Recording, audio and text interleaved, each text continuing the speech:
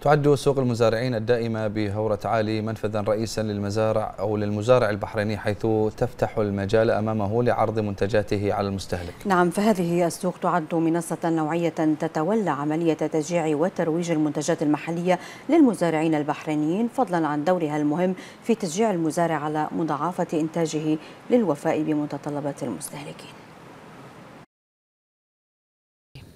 محاصيل زراعية محلية ذات قيمة غذائية عالية تكاد تكون متوافرة على مدار العام يقدمها سوق المزارعين الدائم بهورة عالي فهذه السوق يطرح فيها المزارع البحريني محاصيله الزراعية من خضار وفاكهة محلية وطازجة تقطف من المزرعة ويتم عرضها بشكل مباشر في السوق.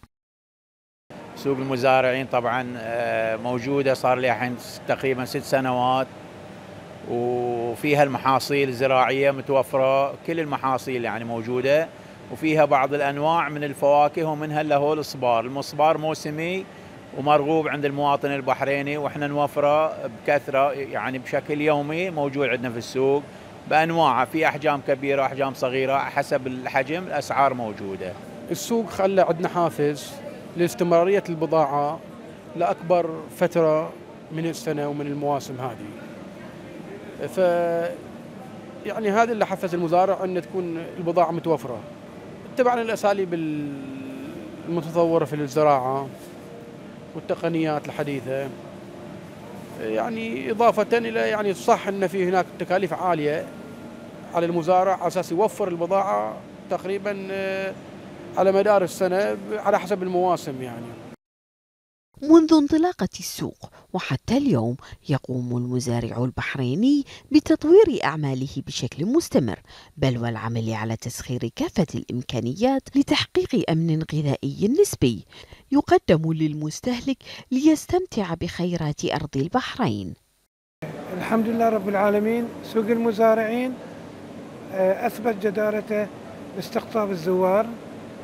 بإعطانا الأفكار أنه نتطور زيادة المبيعات.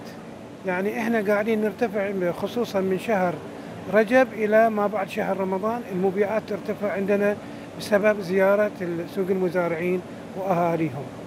ست أيام في الأسبوع يحصد فيها المزارع منتجاته يومياً.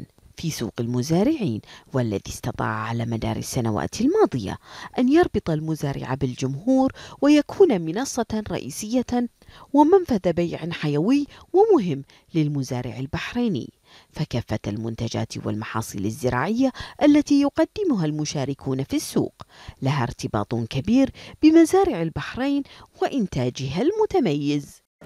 هذه السوق الدائمة تعد منفذا مهما وحيويا للترويج للمنتج الزراعي البحريني. ونقطة تواصل بينه وبين المستهلك ما عزز لدى المزارع الرغبة بمضاعفة الإنتاج لإرضاء متطلبات محبي المنتج المحلي. خولة الجرينيس لمركز الأخبار تلفزيون البحرين.